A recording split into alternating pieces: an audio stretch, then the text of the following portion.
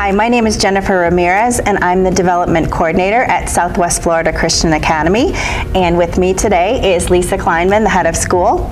And we are going to take a couple minutes just to discuss the modular facility initiative and the why behind it as we move forward together. Hmm? Lisa, so how did the modular facility become a priority?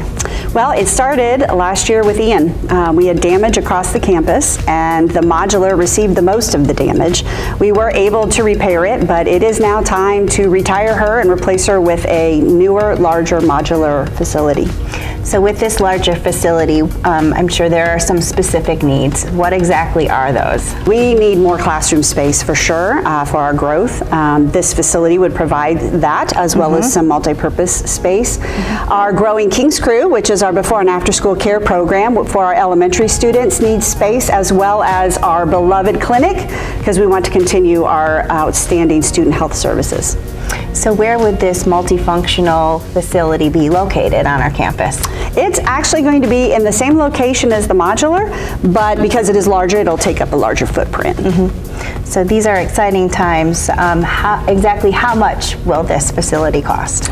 Well, when um, we started crunching the numbers, we were able to look at funds that we had already accumulated. So that landed us at about $875,000 to complete the project, but that also includes the furniture and fixtures. Okay. When exactly would you like uh, this money raised to have the facility in place? Oh, well, ideally, we could really use it for the 24-25 school year.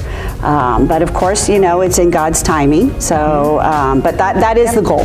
Okay. So how is it that we can all get involved?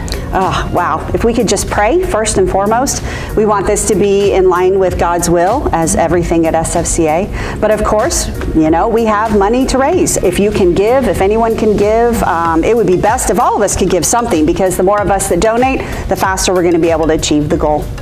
Yes, definitely. Well, thank you, Lisa, so much for your time, and thank you for your time and prayerful consideration as we move forward together.